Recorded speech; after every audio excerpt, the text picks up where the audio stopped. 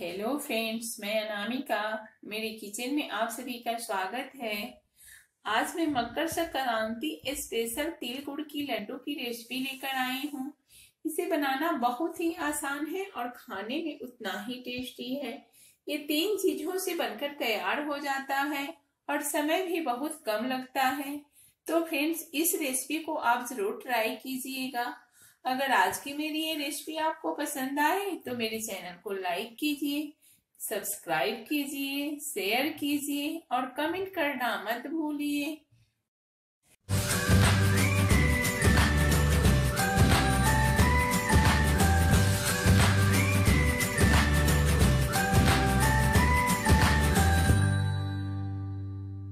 तो चलिए हम मकर संक्रांति स्पेशल तिल और गुड़ की लड्डू बनाना शुरू करते हैं। कम इंग्रेडिएंट्स से बन जाता है।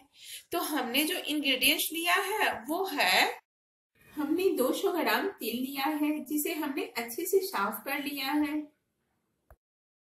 डेढ़ सौ ग्राम हमने गुड़ लिया है, जिसे हम छोटे छोटे टुकड़े में तोड़ लिए हैं। और दो चम्मच हम देसी घी लिए हैं। तो चलिए हम गैस की तरफ़ चलते हैं। गैस पे हमने एक कढ़ाई रख लिया है और हम गैस को ऑन कर लेंगे। कढ़ाई को हम गरम होने देंगे। कढ़ाई में हम डालेंगे तेल और इसे हम मीडियम फ्लेम पे तीन से चार मिनट तक भूनेंगे। तेल को हमने चार मिनट तक मीडियम फ्लेम पे भूना है तो इसमें से हल्की हल्की चटकने की आवाज़ आ रही है। आप सुन सकते हैं। अब हमें इसे ज़्यादा नहीं भूनना है। एक अच्छी सी खुशबू आ जाए। इसमें हल्का सा आवाज़ आने लगे। इसे हम ऐसे हथेली में लेके मैस भी सकते हैं तो ये आराम से मैस भी जाए। तो आप समझिए कि अपना तिल भून चुका है। अब हम गैस के फ्लेम को ऑफ़ कर लेंगे और आधे मिनट तक और चलाते रहेंगे। इससे क्या होगा? कढ़ाई गरम है तो नीचे वाले हिस्से में तिल अपना ज़्यादा डार्क नहीं भून पाएगा।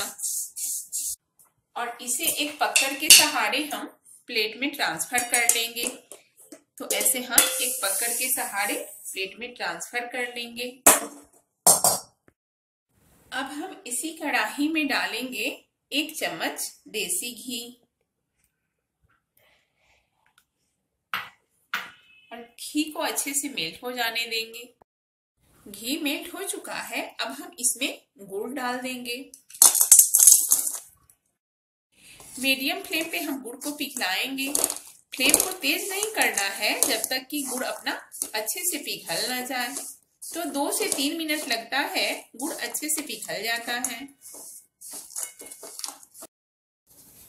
तीन से चार मिनट में अपना गुड़ जो है, वो अच्छे से मेल्ट हो गया है। अब हम इसकी चाशनी तैयार कर रहे हैं।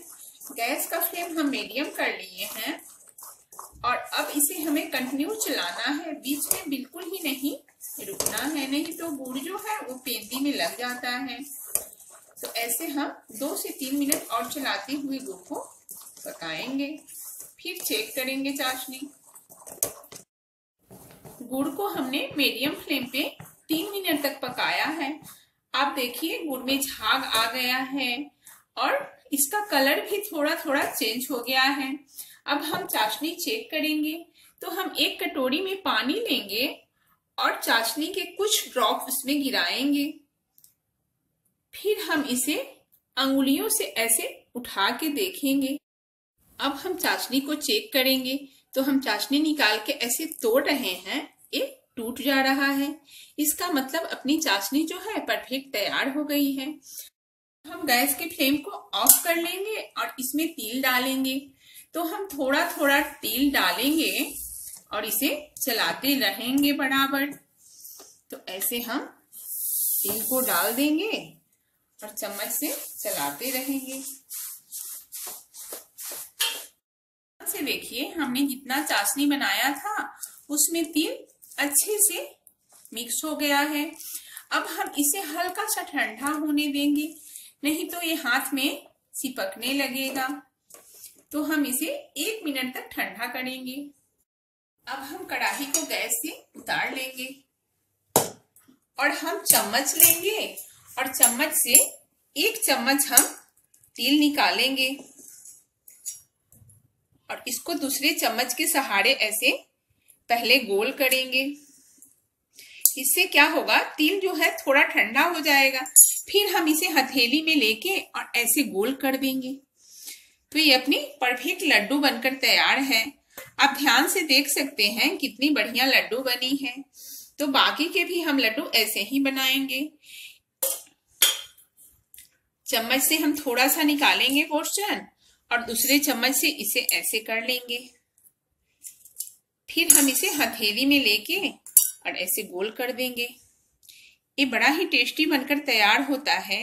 हाँ ये प्रोसेस हम बहुत ही फास्ट करेंगे, क्योंकि गुड़ अपना ज़्यादा ठंडा हो जाएगा तो लड्डू बनाना हार्ड हो जाएगा तो हम जल्दी जल्दी इसे करेंगे।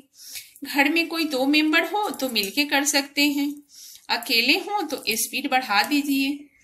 तो हम एक एक चम्मच निकालेंगे और हाथ में लेंगे। इससे क्या होगा? एक ही साइज़ की अपनी तिल की लड्डू तैयार होगी। तो आप देखिए कितनी बढ़िया लड्डू बनकर तैयार हो रही है। हमने तिल के लड्डू को तैयार कर लिया है।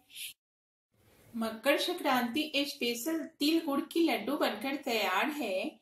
इसे बनाना बहुत ही आसान है और खाने में उतना ही टेस्टी है। इसे संक्रांति स्पेशल तो कहते हैं, पर ठंडी के सीज़न में आप इसे कभी भी बना के खा सकते हैं। ये बड़ा ही हेल्दी लड्डू माना जाता है। तो इस रेसिपी को आप ज़रूर ट्राई कीजिए। अगर आज की मेरी ये लड्डू की रेसिपी आपको पसंद आए तो मेरे चैनल को लाइक कीजिए सब्सक्राइब कीजिए शेयर कीजिए और कमेंट करना मत भूलिए। धन्यवाद।